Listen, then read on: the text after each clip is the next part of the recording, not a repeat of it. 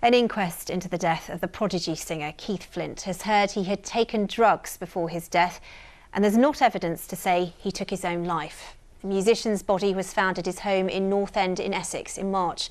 Our reporter Kim Riley has more. This was a very brief hearing with no live witnesses. The court was told that Keith Flint was found at his home in North End by a friend. He died by hanging and the post-mortem showed there were quantities, unspecified quantities of cocaine, alcohol and codeine in his system. Senior coroner Caroline Beasley Murray reached an open conclusion. We'll never quite know what was going on in his mind, she said.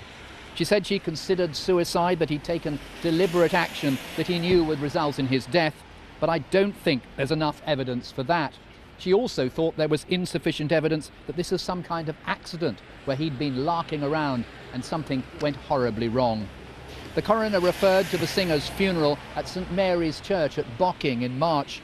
He clearly was extremely popular, she said, much loved by so many fans.